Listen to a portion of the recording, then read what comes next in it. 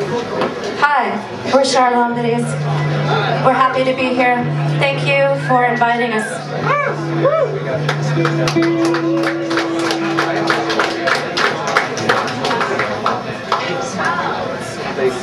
This song is from an album called Houston.